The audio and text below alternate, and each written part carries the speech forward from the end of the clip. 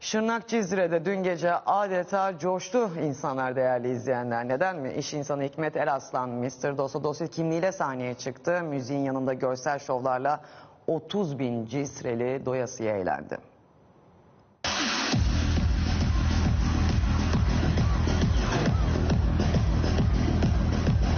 Burası ne Rio ne de Ibiza. Burası Şırnak Cizre. İstanbul'daki, İzmir'deki olayların hepsini artık Anadolu'nun ucra yerlerine taşımak bir misyonumdur. Nasıl buldun bugün Cizre'yi? Çok güzel. Heyecanlıyız zaten Cizre'de ilk defa böyle bir şey oluyor.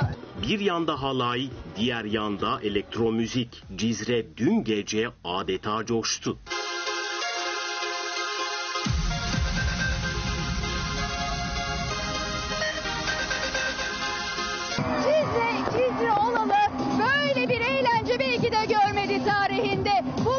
Cizre'de adeta parti var.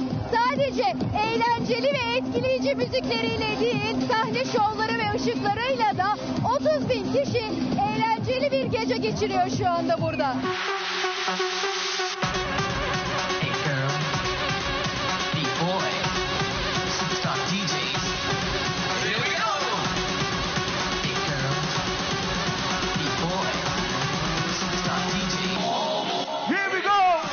Ortam Avrupa'nın en büyük müzik festivali Tomorrowland'den farksızdı. Mr. Dosso Dossi de sahneye çıkınca Cizre'de yer yerinden oynadı. Cizre'ye geldim. Geldiğimde düşünmüyordum. O kadar. Hiç beklemediğimiz bir şey çıktı yani karşımıza. Bu geceyi yani müthiş bir gece olaraktan sayıyoruz.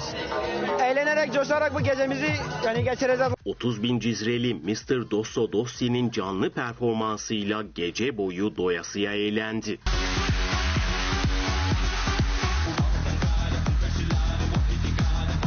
Ardından sahneyi Sefo devraldı.